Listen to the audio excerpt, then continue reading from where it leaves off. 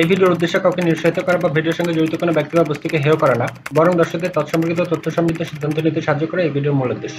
আপনি ইউটিউবে একেবারে নতুন ক্রিয়েটার হন, অথবা আপনি এতদিন মোবাইল ফোনে শ্যুট করতেন, এখন হয়তো একটি ক্যামেরায় মুভ করতে যাচ্ছেন।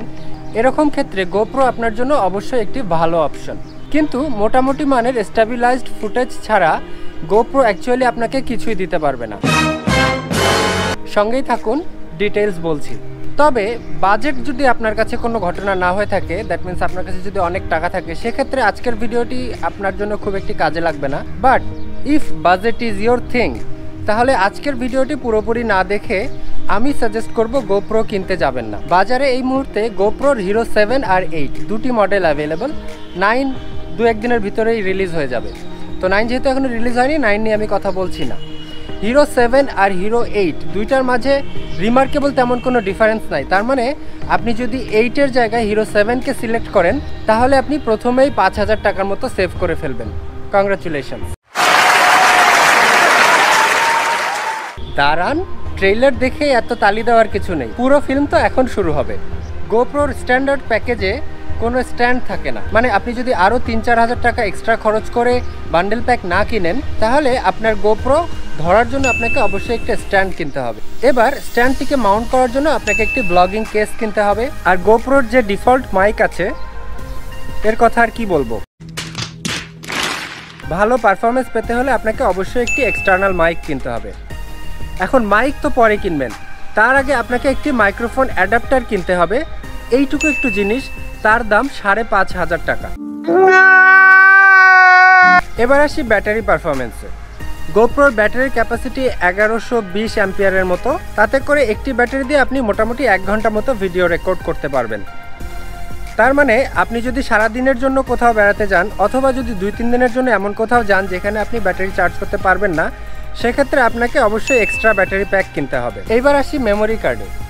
আমরা আমাদের মোবাইল ফোনে যে normal class ten microSD card use করি, সেগুলো নাকি গোপ্রোতে ইউজ করা যাবে না। গোপ্রোতে ইউজ করতে হবে SanDisk Extreme Pro one seventy megabyte read speed এবং ninety megabyte write speed something like that এই মেমোরি কার্ড ইউজ না করলে নাকি ওনার ফুটেজ লস হয়।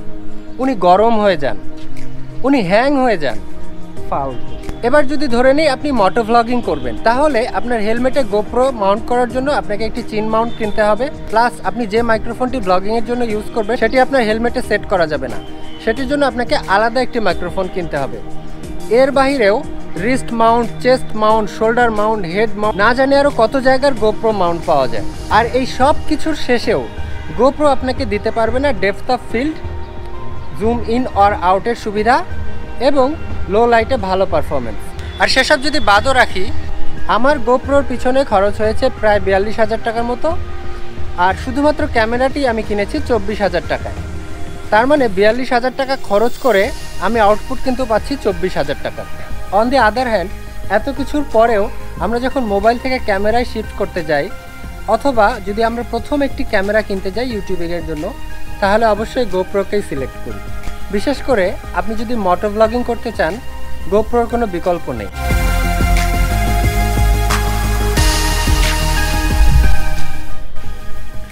এবার আসি গোপ্রোর বাংলাদেশের বাজার নিয়ে। বাংলাদেশে বর্তমানে অনলাইন অনেকগুলো স্টোর তৈরি হয়েছে যারা গোপ্রো এবং গোপ্রোর অ্যাক্সেসরিজ সেল করে। তো আমি যেহেতু অনলাইন থেকে কিনি নাই, আমি ওইটা নিয়ে কথা বলছি না।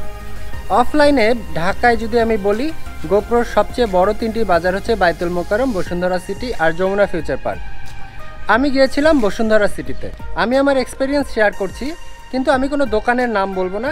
কারণ আমি যদি কোনো দোকানকে ভালো বলি, মনে হতে পারে আমি তার অ্যাডভার্টাইজমেন্ট করছি, আর কাউকে খারাপ বললে মনে হতে পারে আমি তার কম্পিটিটর বা সামথিং লাইক দ্যাট বর্তমান গোপ্রোর বাজারটা এরকম যে গোপ্রো আর গোপ্রোর অ্যাক্সেসরিজ দুটা অ্যাকচুয়ালি ডিফারেন্ট সেগমেন্ট তৈরি হয়ে গিয়েছে। লাইক আপনি যে দোকান থেকে গোপ্রো কিনছেন, আপনি যদি সেই দোকান থেকেই তার অ্যাক্সেসরিজ কেনেন, তাহলে একরকম দাম। আর আপনি যদি মনে করেন যে আপনি দু চারটা দোকান ঘুরে যেখান থেকে যে অ্যাক্সেসরিজটি বা যেখান থেকে যে ক্যামেরাটি আপনি কমে পাচ্ছেন, সেখান থেকে নেবেন, সম্ভব না।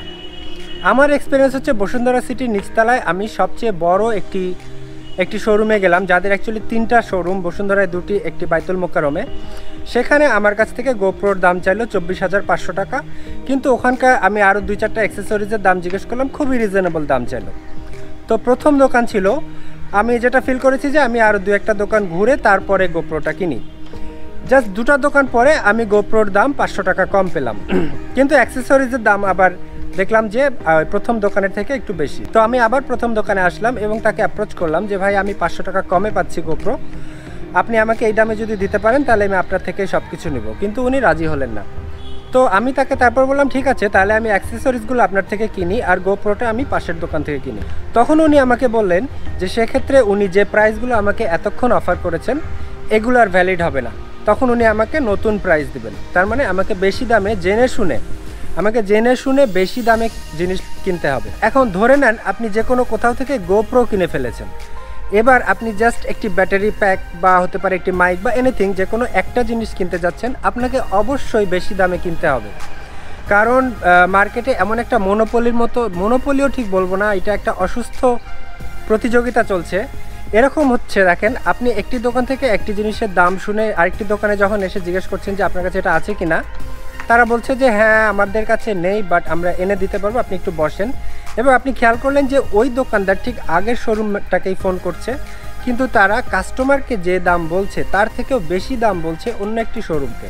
মানে সব মিলিয়ে আমার লার্নিং হচ্ছে এইটুকু যে আপনি যেখান থেকেই গোপ্রো কেনেন, আপনি ওই জায়গা থেকেই চেষ্টা করবেন অন্যান্য অ্যাক্সেসরিজগুলো কিনে ফেলতে। আদারওয়াইজ যেটা হবে যে আপনাকে প্রচুর ঘুরতে হবে এবং খুব একটা কমে আপনি কিনতে পারবেন। আমি বসুন্ধরা সিটির কথা বলছি। তো শোরুমগুলোর নাম আমি ওপেনলি বললাম না, আপনাদের যদি কারও জানার আগ্রহ থাকে তাহলে অবশ্যই কমেন্ট বক্সে লিখতে পারেন। এত কিছুর পরেও মার্কেট নকল জিনিসের ঠাসা। মানে গোপ্রো নকল হওয়ার চান্স খুব একটা নেই, আপনি যদি ইন্ট্যাক্ট প্যাকেট দেখে নেন। কিন্তু অ্যাক্সেসরিজ যেগুলো আছে ইনফ্যাক্ট আমি যে মাইকটি কিনেছি, আমার কাছে সন্দেহ হয় যে এই মাইকটি আসল কিনা। মালটা দেখতে আসলই মনে হয়। কিন্তু সাউন্ড কেমন আসছে আপনারা একটু কমেন্ট বক্সে বলে দিন। এবার দুটি গুরুত্বপূর্ণ পয়েন্ট বলছি। প্রথম কথা হচ্ছে, এতদূর যেহেতু ভিডিওটি দেখেছেন, তার মানে ভিডিওটি আপনি কম বেশি এনজয় করেছেন। যদি করে থাকেন, তাহলে একটা লাইক দিয়ে যাবেন প্লিজ ইনফ্যাক্ট যা হয় যে, একটা লাইক দিতে আপনারও পয়সা লাগে না বা আপনার একটা লাইকের কারণে ইউটিউবও আমাকে কোনো পে করে না। কিন্তু কি হয় যে, এত কষ্ট করে ভিডিও করি, যখন আপনারা ভিডিওটি দেখেন এবং লাইক করেন, ভালো লাগে। আর সেকেন্ড ইস্যুটি হচ্ছে, যেহেতু আর সেকেন্ড ইস্যুটি হচ্ছে যেহেতু এত বড় ইনভেস্টমেন্ট করে ফেলেছি, বুঝতে পারছেন যে আমার commitment to YouTube will be higher then before মানে আমি চেষ্টা করব আরও ভালো ভালো ভিডিও আপলোড করার সো নতুন ভিডিও নোটিফিকেশন পেতে হলে চ্যানেলটি সাবস্ক্রাইব করে নোটিফিকেশন অন করে রাখবেন। ধন্যবাদ। বাই দ্য ওয়ে ইউটিউবে যদি আপনার একটি ট্রাভেল চ্যানেল থেকে থাকে, অথবা আপনি যদি একটি নতুন ট্রাভেল চ্যানেল খোলার কথা চিন্তা করে থাকেন, তাহলে আমার এই ভিডিওটি অবশ্যই দেখবেন। আপনি নতুন ক্রিয়েটার হন অথবা আপনি নতুন করে শুরু করতে যাচ্ছেন, এমনও যদি হয়ে থাকে, ভিডিওটি আপনাদেরকে অনেক হেল্প করবে বলে আমার বিশ্বাস।